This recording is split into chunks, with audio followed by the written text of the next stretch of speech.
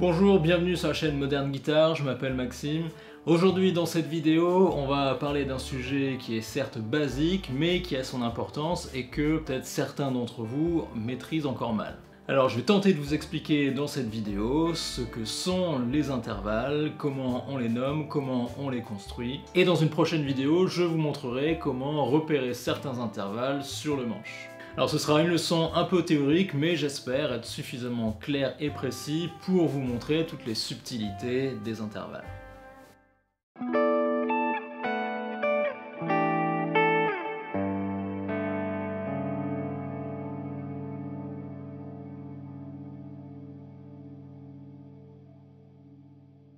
Alors commençons tout de suite tout simplement par une définition. Qu'est-ce qu'un intervalle? Eh bien l'intervalle, ça va être tout simplement la distance qui va séparer deux notes. Alors un intervalle va se caractériser par trois critères principaux. On aura en premier lieu le nom de l'intervalle, ça, ce sont des noms que vous avez déjà entendus. Si je vous parle de seconde, de tierce, de quarte, de quinte, etc., ce sont des noms que vous connaissez. On verra après euh, comment on les trouve. On va ensuite trouver ce qu'on appelle la qualification de l'intervalle. Alors qu'est-ce qu'on entend par qualification de l'intervalle? Ce sont encore là une fois des, des mots que vous avez déjà entendus. Euh, ça va être la couleur spécifique de chaque intervalle en fonction de la répartition des, tons et des demi-tons. Donc parmi les qualificatifs des intervalles que vous pouvez trouver, vous avez le qualificatif de majeur ou alors mineur. Vous avez aussi des intervalles qu'on va appeler justes et d'autres qu'on va nommer augmentés ou encore diminués. Et ça, on va voir comment on trouve ces choses-là. Et enfin, vous avez euh, le sens de l'intervalle, c'est-à-dire qu'un intervalle peut être soit ascendant, soit descendant. En tout cas, pour les intervalles mélodiques, pour les intervalles harmoniques, eh ce sont deux notes qui sont jouées en même temps.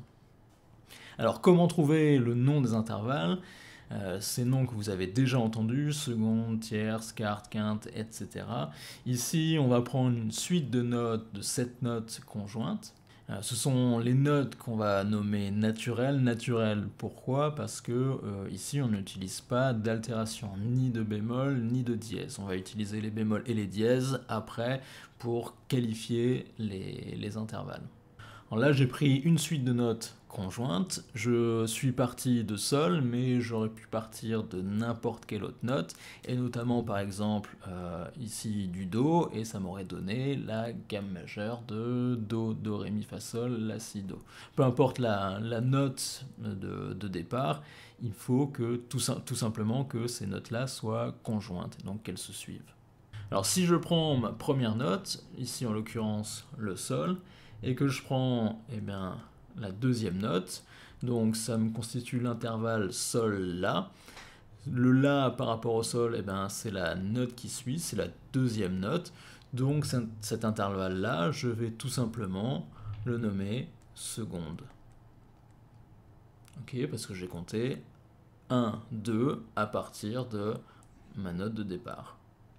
Maintenant, je pars toujours de ma première note et je vais compter 3, donc j'ai cet, intervalle-là, Sol, Si, Sol, Si, donc j'ai donc 1, 2, 3 notes, et eh bien on va tout simplement l'appeler tierce, puisqu'on a un intervalle de 3 notes. Et vous commencez à saisir la, la, logique, ici je pars toujours de mon Sol, je vais compter 1, 2, 3, 4, et j'arrive sur le Do. Donc l'intervalle Sol, Do, c'est un, intervalle qui comprend 4 notes, pardon, 4 notes et qu'on va appeler donc quarte. Un intervalle de quarte. Pour la cinquième note, eh bien, on va appeler ça une quinte. La sixième note, on va appeler ça une sixte. La septième note, eh bien, tout simplement, on va l'appeler septième.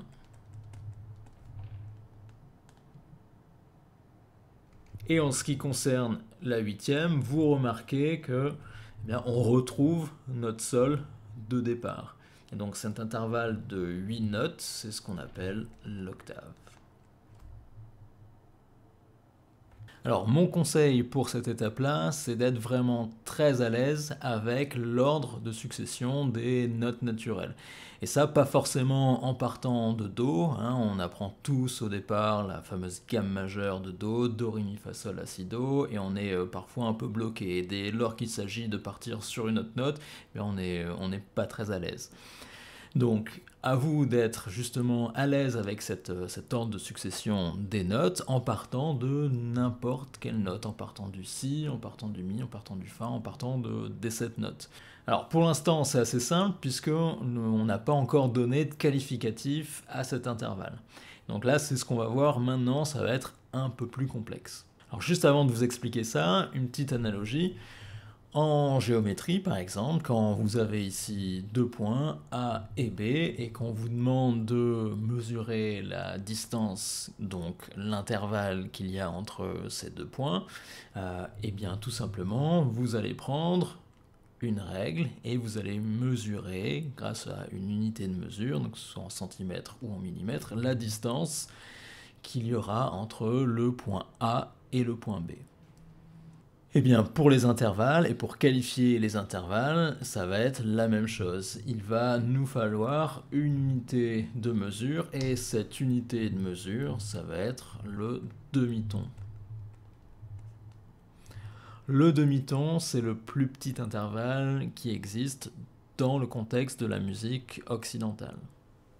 Donc dans la musique occidentale, l'octave est divisée en 12 demi-tons. Et ici, vous avez à l'écran ce que j'appelle un squelette intervallique que j'avais déjà utilisé dans mes précédentes vidéos sur les modes, donc je vous encourage aussi à aller voir ces vidéos. Et donc ici, chaque vertèbre représente un demi-ton. Et on se rend compte que donc l'octave est divisée en 12 demi-tons. Alors cette division de l'octave en 12 demi-tons, c'est aussi ce que l'on appelle l'échelle chromatique. Ce qui veut dire qu'on progresse de demi-ton en demi-ton. Dans un premier temps, on va voir où se situent les notes naturelles sur cette échelle chromatique. Et donc là, je vais, reprendre mon segment de heptatonique, donc de 7 notes que l'on a vu tout à l'heure en partant du sol, et je vais les placer sur ce squelette intervallique, sur cette échelle chromatique. Donc voilà ce qu'on obtient. Ce qu'il vous faut bien assimiler et bien retenir surtout, ça va être l'écart, donc en l'occurrence l'intervalle, qu'il va y avoir entre chacune de ces notes. Et on se rend compte tout de suite d'une chose, c'est que ici entre le Si et le Do, et entre le Mi et le Fa, on a un demi-ton.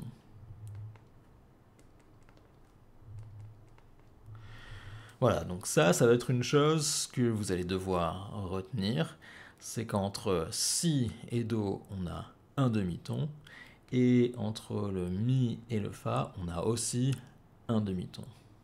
Je rentre pas plus dans les détails pour savoir pourquoi on a un demi-ton entre ces notes-là, mais dans un premier temps, retenez ça. Et on se rend compte qu'entre toutes les autres notes, eh bien, on a toujours un ton. Entre Sol et La, Et Si, Do et Ré, Ré, Mi et Fa et Sol. On aura toujours un ton. Alors ce qui va différencier un intervalle mineur d'un intervalle majeur par exemple, eh bien tout simplement ça va être le nombre de tons et de demi-tons qu'il va contenir. Prenons par exemple un intervalle de secondes qui peut se trouver sous sa forme mineure et sous une forme majeure. La seconde mineure est constituée d'un demi-ton. C'est-à-dire qu'entre la première note et la deuxième note, je vais avoir un intervalle d'un demi-ton.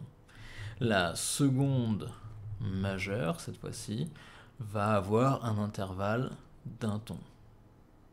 Et ça va être dans ce cas de figure qu'on va faire appel à des altérations, soit à des bémols, soit à des dièses. Je vous rappelle que le bémol baisse la note d'un demi-ton et le dièse monte la note d'un demi-ton. Ok, sur la guitare, ça équivaut le, bémol à descendre d'une case et le dièse à monter d'une case. Donc par exemple, si je pars de Do et que je veux une seconde mineure, eh bien cette seconde mineure, ce sera la note Ré bémol. Alors peut-être vous allez me dire, euh, c'est noté Ré bémol, pourquoi on ne pourrait pas noter Do dièse, puisque sans doute vous le savez, Do dièse et Ré bémol, c'est la même, chose, c'est la même note. Alors pourquoi on va préférer l'appeler Ré bémol?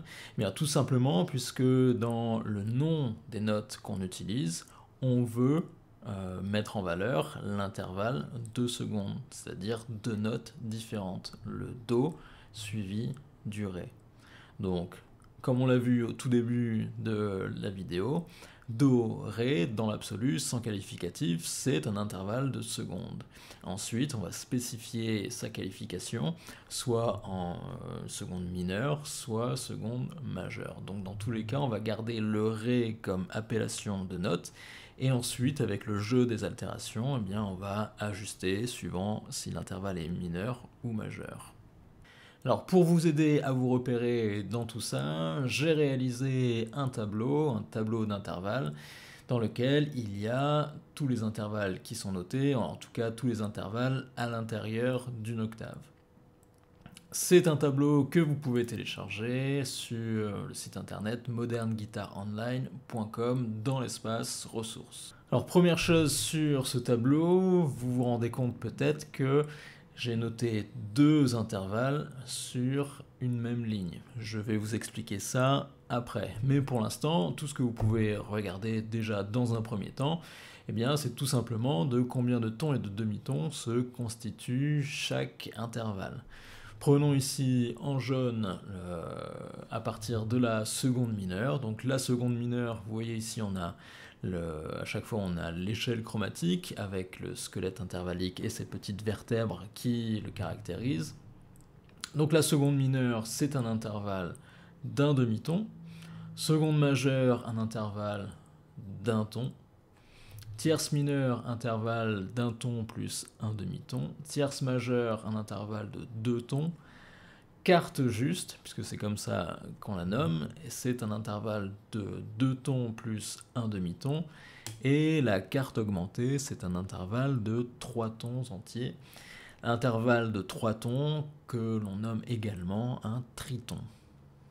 Ensuite, tout ce qui est en bleu et en partant du haut, vous avez l'intervalle de septième majeur, qui est un intervalle de 5 tons plus un demi-ton, intervalle de septième mineur, 5 tons, une sixte majeure vaut 4 tons plus un demi-ton, sixte mineur, 4 tons, quinte juste, euh, puisque c'est comme ça aussi qu'on la nomme, est un intervalle de 3 tons plus un demi-ton. Et enfin, la quinte diminuée est un intervalle de 3 tons, donc un triton. Alors ce dont vous vous rendez compte immédiatement, c'est que la carte augmentée ici et la quinte diminuée, eh bien ça constitue le même intervalle. C'est l'intervalle de triton. Ce dont vous vous rendez compte également peut-être, euh, c'est donc que j'ai mis plusieurs intervalles, en tout cas deux intervalles à chaque fois sur la même ligne, et il y a une, une raison, une très bonne raison à faire ça. C'est pour mettre en évidence le rapport de symétrie qu'il existe entre chaque intervalle. Ce qui veut dire, comme vous pouvez le voir tout en bas, que notre intervalle de triton, donc de trois tons entiers, divise symétriquement notre échelle chromatique. Vous voyez qu'ici, il est au centre. Et donc ce triton va constituer un axe de symétrie. Vous voyez que j'ai dessiné ici, euh, là vous l'avez en rouge, mais vous l'avez en pointillé sur le, tableau. Ce qui va avoir pour conséquence d'avoir un jeu de symétrie entre chaque intervalle. Et même visuellement, vous le voyez déjà ici, donc avec l'axe de symétrie que j'ai dessiné.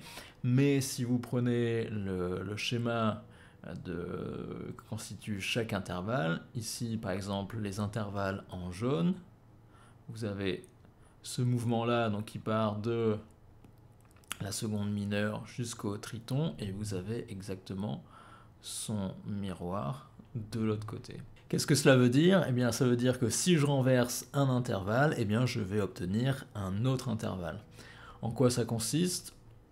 Je vais vous montrer ça maintenant. Prenons par exemple un intervalle ascendant Do, Mi.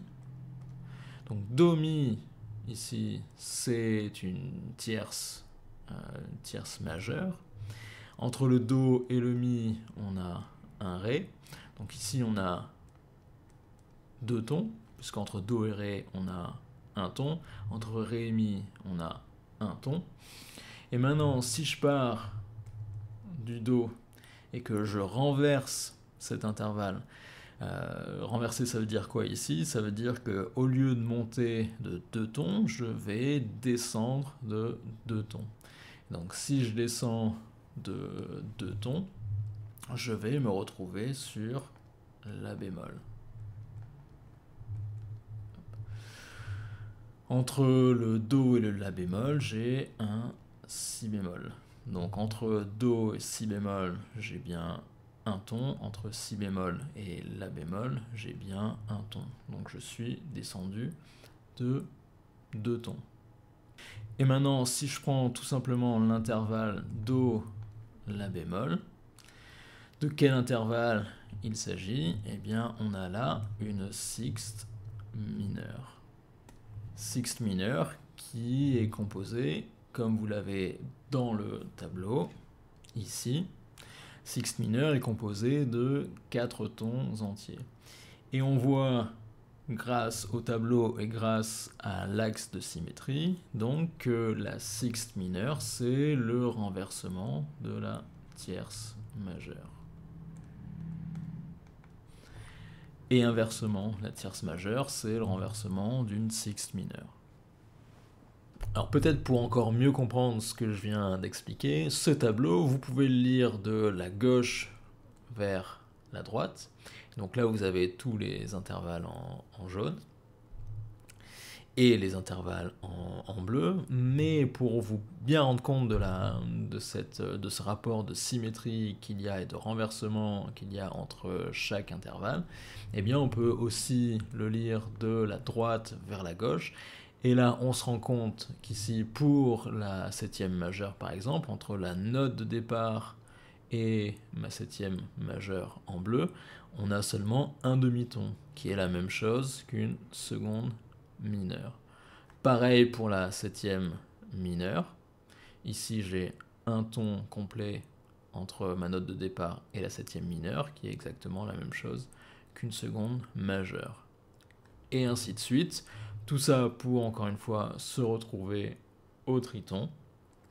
Et donc, en fait, on se rend compte que le triton est le seul intervalle qui, sous un processus de symétrie et de renversement, se renverse sur lui-même. C'est-à-dire que si vous renversez un triton, eh vous obtenez un triton. Pourquoi? Bah, Tout simplement parce que c'est l'axe de symétrie de l'octave. Voilà, c'est tout pour cette vidéo. J'espère que j'ai été suffisamment clair. Si vous avez la moindre question, la moindre hésitation, n'hésitez pas à m'en faire part dans les commentaires. Je vous rappelle que vous pouvez télécharger le tableau des intervalles sur le site moderneguitaronline.com dans l'onglet ressources. Comme toujours, si vous voulez soutenir la chaîne, c'est tout simple, il vous suffit de vous abonner. Au plus vous êtes nombreux et au plus ça me permet d'avoir de visibilité sur YouTube. N'hésitez pas à partager les vidéos sur différents réseaux sociaux. Moi je vous dis à bientôt dans une prochaine vidéo.